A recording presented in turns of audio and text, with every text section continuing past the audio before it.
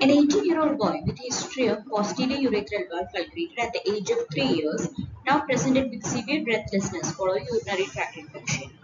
The ABG report is pH 7.25, bicarbonate 10, PCO2 23, sodium 130, potassium 6, chloride 96, blood urea 130, and serum creatinine 5.8. USG shows bladder outlet obstruction, bilateral hydroureteronephrosis. So diagnosis here is a CKD, chronic kidney disease stage 5 with chronic tubulointerstitial disease. So you will see the ABG interpretation. The pH is 7.25. So it is acidosis. Bicarbonate is 10. Normal is 20 to 26. PaCO2 is 23. So it is a case of metabolic acidosis.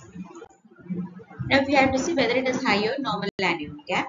The anion gap is measured cation minus measured anion. So it will be around 24 in this case. So it is a case of high anion gap metabolic acidosis. Now we have to see whether it is compensated or not. So change in bicarbonate is 40 and change in PaCO2 is 70.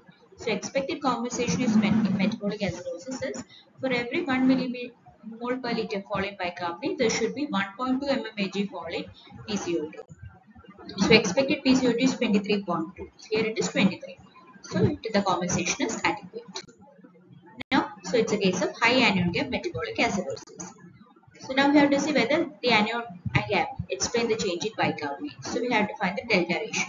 That is measured anion gap minus normal anion gap by normal bicarbonate minus measured bicarbonate. So delta anion gap by delta bicarbonate which is around 0.86. So delta ratio assessment less than 0.4 it is hyperchloremic normal anion gap acidosis 0.4 to 0.8 is renal failure combined high anion gap and normal anion gap acidosis 1 to 2 it's usual for uncomplicated high anion gap acidosis and lactic acidosis. More than 2 it's a case of pre-existing elevated bicarbonate due to a concurrent metabolic alkalosis and pre-existing common compensatory respiratory acidosis. So delta ratio less than 2 it means there is no metabolic alkalosis. Here there is no metabolic alkalosis. So here the diagnosis high anion gap metabolic acidosis.